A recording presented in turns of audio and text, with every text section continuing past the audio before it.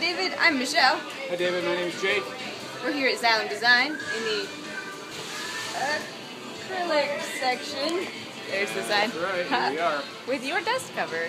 Yep, this is It it. is right now. It's coming along with a black laminate spotlighted pedestal with a brushed aluminum toe kick. That sounds lovely. And you'll probably be getting a separate video for that.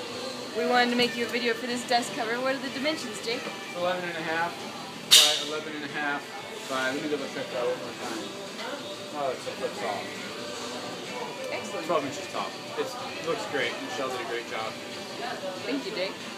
You're going to be getting this cleaning kit with this fancy, fancy dust cover. It has a microfiber rag, which is washable, reusable, great to use instead of a paper towel or anything like that. This won't scratch it. Um, we also recommend ammonia-free Windex. This is coming out, whenever the other pedestal is ready, actually. So anytime between now and Friday. Um, to your Northwest 41st Street. yes address. Yeah, so let us know if that's not correct. Not just the street, but your address. Yes, your address on that street. Um, we're really curious about what you're going to put inside your dust cover to keep it dust free.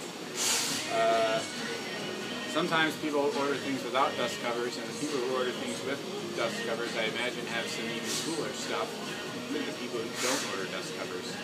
Because you don't want to, it's lean. You don't want to dust your objects every week or however often you do so. So this prevents that. And uh, we want to see it. So send us a picture or video. Yep. Thanks for your order, David. Thank you.